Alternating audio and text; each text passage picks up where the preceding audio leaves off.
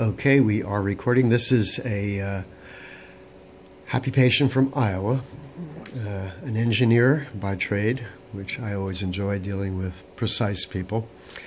Uh, you are precise, I guess. Uh, an unusual situation uh, bilateral midvitreous fibrillar clumps.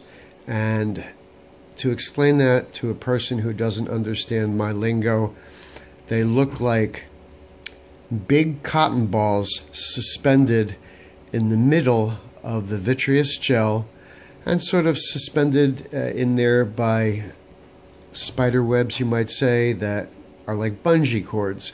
When you move your eye, it'll whip out of the line of sight, but it goes right back to the same place.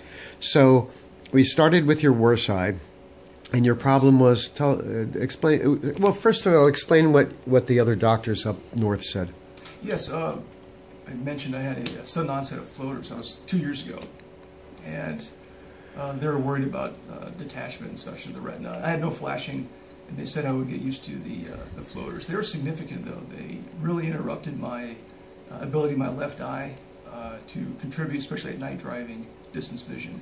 So uh, I wasn't satisfied with it, so I did start to investigate a little bit about that. What I am going to do right now is see if I can actually turn on this video while we're doing it. And this is your case. Uh, it was incredible. Uh, uh, what, what we have here is, uh, I probably should splice in what we've got, but it was really, really amazing stuff. Yeah, seeing it in the video was a, like a veil. Uh, yes. It's very much like what you described. Uh, it was amazing. Uh, looking at the video, especially shooting those strands and being able to pull that mm -hmm. mass uh, to the side, so it's no longer in my central vision. It was uh, astounding. Uh, right, and did did the doctors offer vitrectomy to you at all? No, they did not, and I would have refused anyway, given how invasive that is, and you're nearly guaranteed a cataract within a couple of years, and that's that was not a good option for me. Yeah, yeah. At your age, we would be guaranteed cataract, uh, pretty much hundred percent. So, so we did uh, what three laser sessions on each eye, uh, something like that. On the oh, right, four on Here we go. Here's our yeah.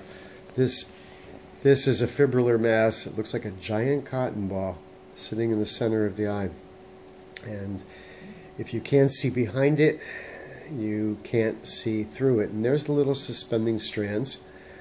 And uh, we're using a little tiny bit of laser energy to cut spider webs. and I guess that's what we are. Spider webs, water, and a few little cells that actually are self-aware. But uh, we did this several times. We got that out of the visual axis. Uh, in your case, I elected to leave some of it in the periphery because we don't want that to cause any reaggregation. But your your reading was disabled before, right? And driving? Oh, indeed. It, reading and uh, just a month ago, uh, same onset of, very sudden onset of floaters in my right eye. Mm-hmm. And since I've stopped driving at night, uh, my uh, depth perception and night vision was severely impacted. And, and that certainly spoils your young wild oh lifestyle. Oh yes. And it's uh, astounding now to, uh, and I noticed it first uh, in low light. I went back to the hotel and was able, I had good low light contrast vision again. And then uh, I'm an avid reader, and it was so much easier now to read without having to jog my eyes around to get the floater out of the way. Uh, it's fantastic. Uh, I still have floaters, but they are not in the uh, central axis of my vision. Right. And that is that is that will and has made all the difference here. So, right. No, I'm right. very grateful for the skill set that Dr. Geller has. Uh, it's not an empty flattery. I, yeah, I, I know, and I, I enjoy set. doing this. It's like a. It uh, makes me sad too that there's only a handful of others that uh, do this, um, given the low risk and the tremendous outcome. Uh, potential here. Right. That's astounding and, to me. And, sometimes it's hard to convince somebody uh, who's a physician and extremely scientific minded that the patient is not having some placebo effect. And how do we measure this? But the bottom line is we've been doing this for 20 years. Ask the patient.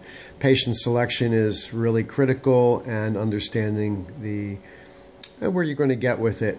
uh, determines the level of success, obviously. Very much looking forward to going back and uh, uh, sharing this with my doctor at home for a follow-up checkup and such. Uh, it's- Absolutely. It's really astounding.